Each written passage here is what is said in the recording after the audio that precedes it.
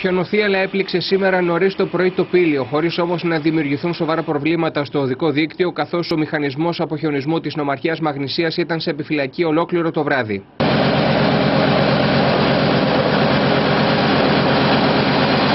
Με τον υδράργυρο να μην ξεπερνά τους 0 βαθμούς Κελσίου, το πύλιο αλλά και οι υπόλοιπες ορεινές περιοχές της Μαγνησίας προς το Κεραμίδι και την Όθρη ντύθηκαν στα λευκά.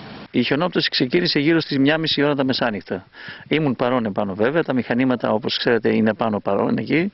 Έγινε, γίνανε οι αποχιονισμοί σε όλα τα οδικά δίκτυα. Δώσαμε μεγάλη προτεραιότητα, μεγαλύτερη προτεραιότητα στα κεντρικά οδικά δίκτυα γιατί εκεί ήταν ο σχεδιασμός μας. Βρισκόμαστε στην κορυφή του πηλίου λίγο πριν το χιονοδρομικό κέντρο. Εδώ το ύψος του χιονιού φτάνει τα 40 εκατοστά, ωστόσο δεν έχουν δημιουργηθεί προβλήματα στη μετακίνηση των αυτοκινήτων, καθώς από τα ξημερώματα 20 σχεδόν μηχανήματα αποχιονισμού ιδιωτών και της νομαρχίας φροντίζουν για να κρατιέται συνεχώς καθαρός ο δρόμος.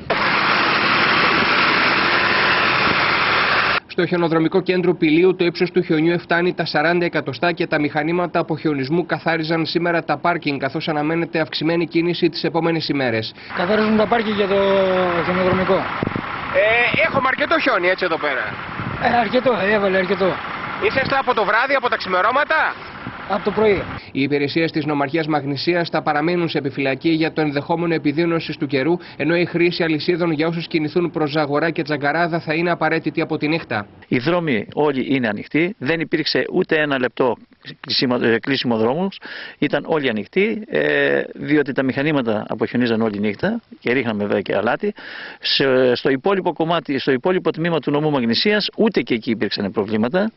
Προσπαθήσαμε με κάθε τρόπο να κρατήσουμε όλο το εθνικό δίκτυο ανοιχτό και το κρατήσαμε. Στο πολεοδομικό συγκρότημα του Βόλου χιόνιζε σήμερα νωρίς το πρωί, χωρίς ευτυχώς να δημιουργηθούν προβλήματα. Ο υδράργυρος δεν ξεπέρασε τους 2 με 3 βαθμούς Κελσίου, ενώ τα μόνα σχολεία που δεν λειτουργήσαν ήταν αυτά στην περιοχή Φυτόκου. Στα υπόλοιπα ορεινά δεν λειτουργήσε κανένα σχολείο πρωτοβάθμιας και δευτεροβάθμιας εκπαίδευσης, ενώ δεν έγιναν αρκετά πρωινά δρομολόγια του υπεραστικού κτέλ για τη Ζαγορά αλλά και προς το νότιο πύλιο.